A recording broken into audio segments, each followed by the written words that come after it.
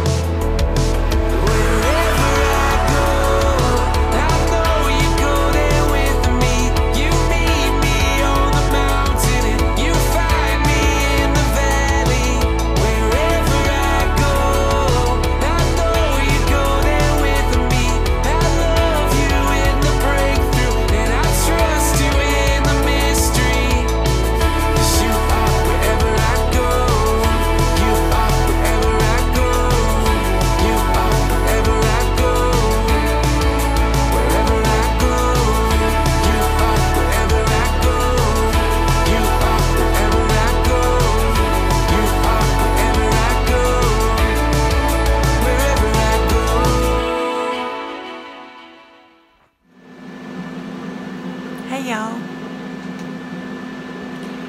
Well, it is another hot day in the desert. But I want to tell you something. It's the desert. It's supposed to be hot. There's no trees. There's no shade. There's just bright sun beating down all day. And I know that they are trying to scare everybody. I've gotten phone calls, I've gotten text, I've gotten emails. I'm okay. I was expecting this, and there are things that I do to make it bearable. And y'all know some of those things. One of them is I just stay in the house and do stuff. um, keep my hands busy, which also keeps my mind busy. And I wanted to share with you some of the things I made this week. I am attempting to use up the materials that I had on hand. Uh, one of those things was a lampshade. Um, whenever that thing is on, and it's my go-to light in the evening, and it, the bulb was always like you, you, it was like you wanted to wear a hat. And so I made that. And I made it out of three different leftover pieces of cotton yarn that I had. So it ain't beautiful, but it is very functional.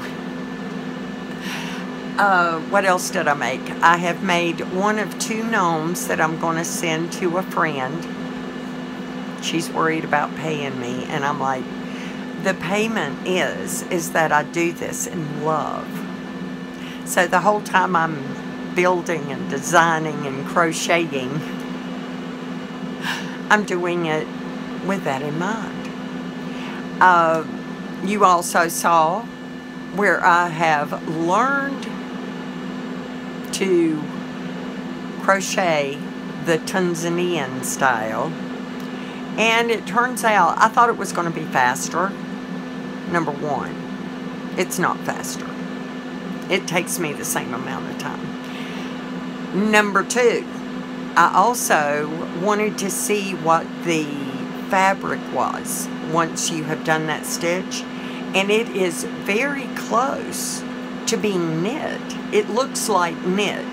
Where crochet tends to not have that flow to it, the Tunisian does. So I was happy with that. I wanted you to talk to Buddy too, but he moved. Trying to get my camera angle right. So, what else did I do this week? I made a skirt slash slip out of a antique. I guess they call it vintage now. They don't say antique very often anymore. It's vintage. Um, linen towel and I love it. I, it was so easy to make. I did not have to hem it. It was already hemmed. And I literally sewed two seams down the side and didn't have to finish them because they were a selvage edge. And then I just put elastic made a casing and put elastic in it. So it was very simple and it is very comfortable, very cool. I'm very happy with it. So that was the other part of what you got to see. And as you saw, it takes that short dress and and makes it a little bit longer. So that's nice. I haven't actually tried it under the, well, oh, pumpkin. They called that a pumpkin color. Which brings me to my last couple of videos. Guilty. I didn't even I didn't even read the comments. But thank you. So many of you are praying for me. And I am very grateful for that because I don't do these things well under normal circumstances. And I tried again to talk to the title lady. She called. Did she call me? She finally called me. Yes. And they're insisting the main thing I have to have is a original copy of Bob's death certificate, which I got Sarah to help me. And she went, she looked. And now we've contacted an attorney because they don't just give out death certificates to people. As far as Bob's marital status and the woman that he was married to, I still don't know her name. I don't have her information. And I keep thinking, why do I have to do this? I don't know. I don't know. I'm not a lawyer. I don't do these things well. When I got a deed with my name on it after paying taxes, I paid taxes on it the first year and I've paid on it two years since then. So the taxes, the, the property is in my name. It, it, it just never occurred to me that they were not doing what they were supposed to do. So there's that. Sarah contacted the attorney on Friday. Today is Sunday. So I won't know anything for a while. I do know this. My closing date, which was set for August 21st, not August, July, July 21st, is this coming week. Obviously, I'm not going anywhere. So, everything has been functioning properly. It is very intensely hot because it is. It's summer in the desert. And I I've not struggled with the heat more than I did last year or the year before or the year before or the year before. I've been here five summers. Is that right? Is this my fifth or sixth summer in Arizona? And I don't normally get monsoons this far north. What I have is that I live at a higher elevation. So I'm guessing it, there's a couple of degrees difference. Not a lot because I'm not that high up. I'm only at like 3,500 feet. But it's way cooler here than it is, say, down in Bullhead. Is that Bullhead City? Bullhead? I think that's it. Anyway, you know, you go down in elevation, it gets hotter. Not my problem. I don't do that. I'm not going anywhere.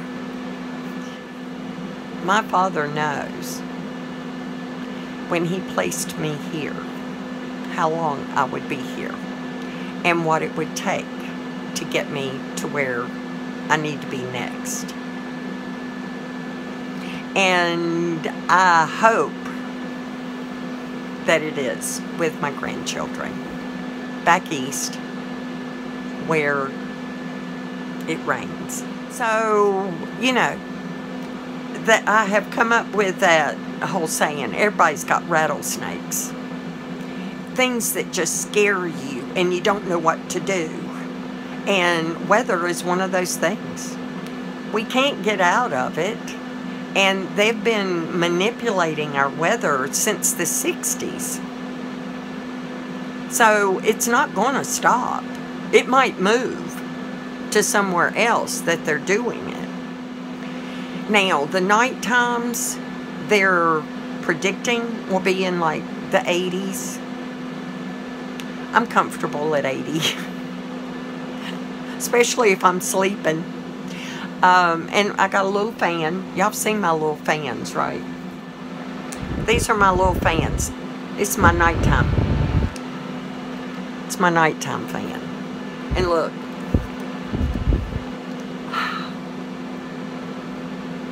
It can also be my daytime fan. But I love these. And they last for really uh, a lot of a lot of use because they run almost 24 hours a day to help circulate the cool air and I aim them towards appliances so that like my refrigerator when it's running, there's heat, so it kind of blows out the front door. So I'm surviving out here, and I don't think it's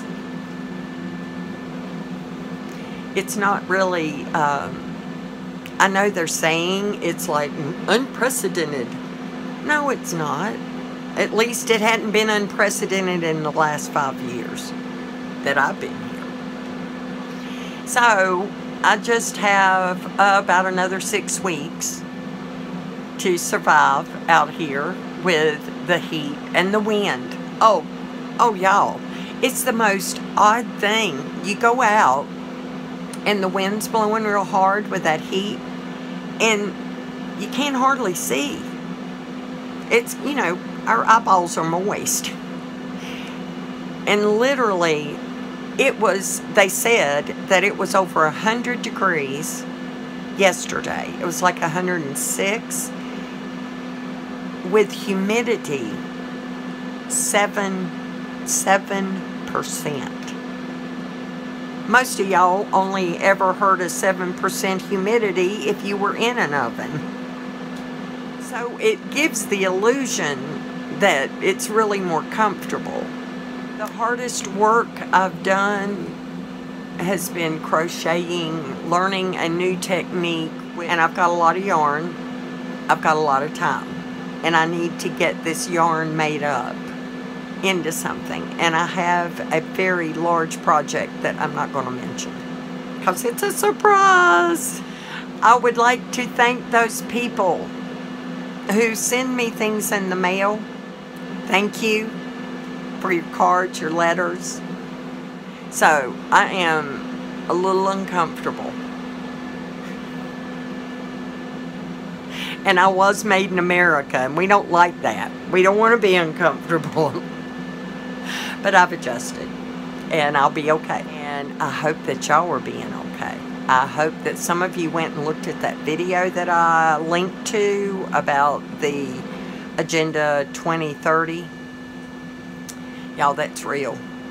You know, the um, the thing they did, the Agenda 2020 or Agenda 21 uh, a, a, a few years back, all of those things were accomplished. And now there's an Agenda 2030. And it has to do with, they say we're doing all this. We're making it hotter. We're making it rain more. And then they say, well, as long as we've been taking records, it's never flooded like this. Well, you've been taking records for a hundred years. Whoop-de-hoo. And there is evidence of our planet changing. Imagine. It changes because it's living, it's breathing. It has living things on it for the moment. Speaking of living things, I had what is referred to as a kangaroo rat. It's like a big mouse and apparently it hops like a kangaroo, they say. Well, Mona kept sitting over here looking at the wall like something was going on. And I went out, and it, it's about this big. Bigger than a chipmunk, but not fuzzy. And it was down in my batteries, making a house. So I have half dealt with it. And you can't keep these things out my wires down there still look okay. I hate that they call it a rat, a kangaroo rat. Gives you the impression of something entirely different than what's happening. Well, y'all, I think that's all there is today. So, more projects coming up, more crochet because I am working on gnomes. You saw one, I got the other one sitting over here getting ready to make the hat. That's the fun part. And then there'll be, I just remembered, I sent Isaac his birthday present. And here is Isaac opening his birthday present. I think that he liked it. And I'm going to let you go for now. And I will see you on Wednesday. I love y'all.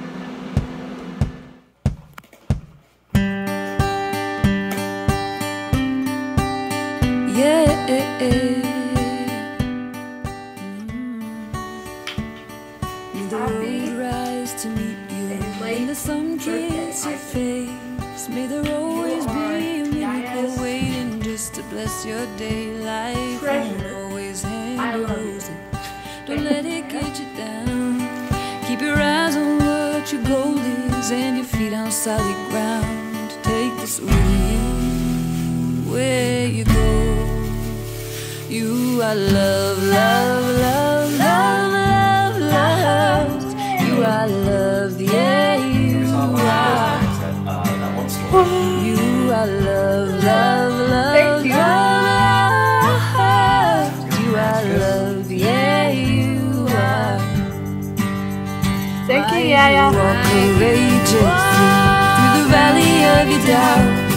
Might you always strive to just keep believing in yourself when the trouble comes and it will.